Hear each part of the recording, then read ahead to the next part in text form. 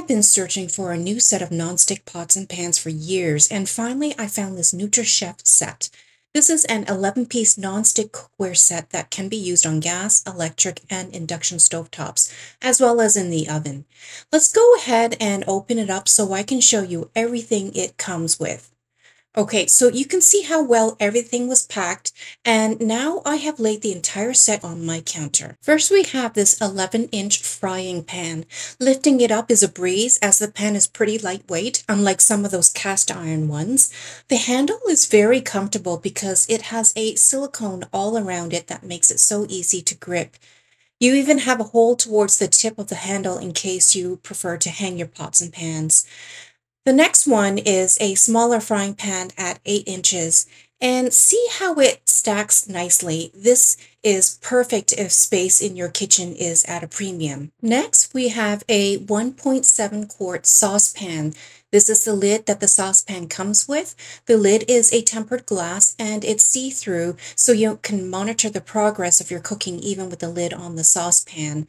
The handle on all the lids also have silicone on it so you can easily grip it and lift the lid during the cooking process without burning yourself. The saucepan itself is a nice size if you're making soup or some vegetables for a couple of people and you can stack the saucepan along with its lid right on top of the small frying pan.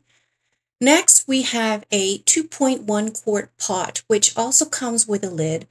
Notice how the pot has two handles, one on each side. This makes it very easy and convenient if you wanted to pop it into the oven. And we have the 3.6 quart Dutch oven pot as well. And here I'm just comparing the 2.1 quart pot with the larger one. I think the larger 3.6 quart Dutch oven pot would be perfect for making stews, a curry, pasta, or soup for the family. And this cookware set also comes with three utensils. Here we have a spatula, and you'll notice that all three of the utensils come with a silicone wrapped handle, as well as a hole at the end for hanging in case you don't have room in your drawers.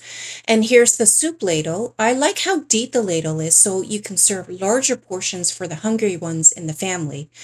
And then last but not least, we have the pasta fork, and that pretty much rounds up the entire cookware set. I can't wait to cook with these non-stick pots and pans, and then when I do, I'll come back to share with you my updated thoughts.